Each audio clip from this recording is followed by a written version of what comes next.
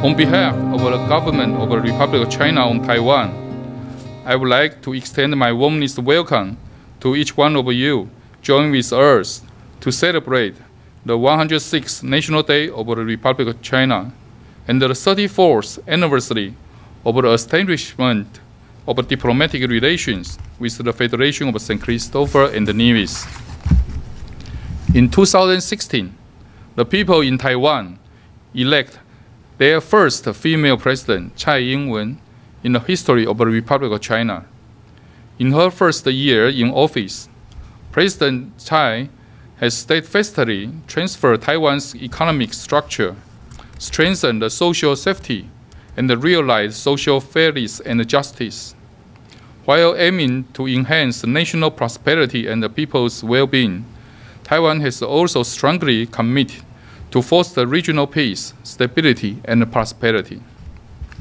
The Republic of China on Taiwan is a democratic and diverse society with a government that works for the welfare of the people. The government of Taiwan adhere to public opinions and the democratic principles, respect historical facts and the existing political status quo, pragmatically manage cross-strait ties and establish a consistent, predictable, and sustainable relationship with the mainland China. In her inaugural address on May 20, 2016, President Tsai emphasized that Taiwan will be a staunch guardian of peace and work to maintain peace and stability in cross-strait relations. Taiwan will demonstrate her sincerity and determination as we keep our door open for communication and consultation based on a mutual trust and cooperation. Confronting with various challenges, President Tsai and her government embraced the new thinking to adapt to fast-moving and uncertain development worldwide. As a democratic and peace-loving country, Taiwan has enthusiastically shared common values of peace, freedom, democracy, and human rights with our allies around the world. Participation in international organizations serves as an important way for Taiwan to contribute to the international community.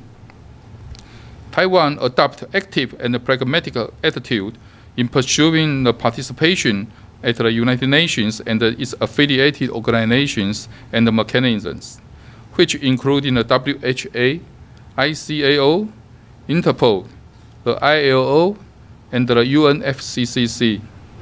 Taiwan took part in international collaboration on emerging issues of global concern and fulfilled our international responsibilities as an invaluable cooperative partner.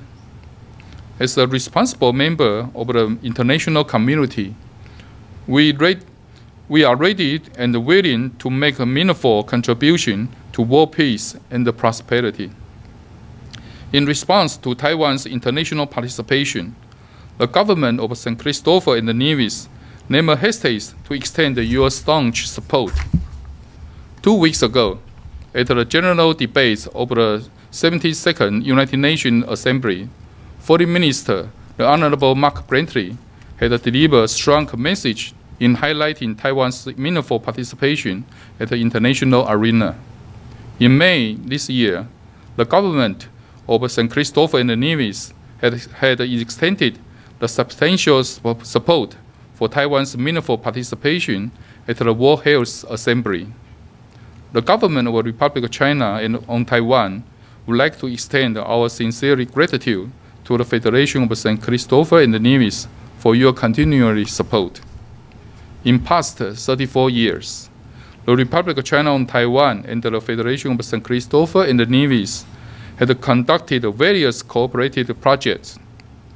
The purpose of these projects are enhancing human resources empowerment and increasing the welfare of Kittitian and Nevian. In order to shorten the development divide and increase the good of the Kittitian and Nevian, these cooperative projects have been directed into four themes in past three years. The first theme is the information and the telecommunication technology. Currently, the building up of the hospital information system at the Joseph France Hospital and the Alexandra Hospital are nearly finished.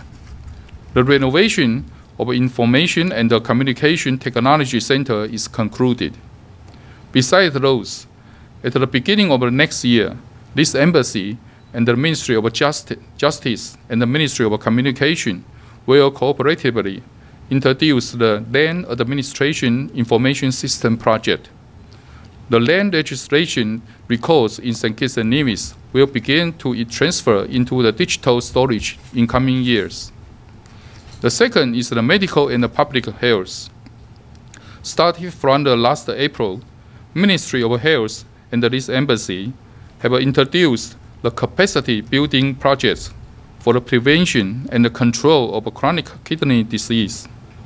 When the project is accomplished, we expect the Joseph France Hospital and the Alexandra Hospital can build up the full ability in treating patients of chronic kidney disease and the prevention education be introduced to the primary school in St. Kitts and Nevis.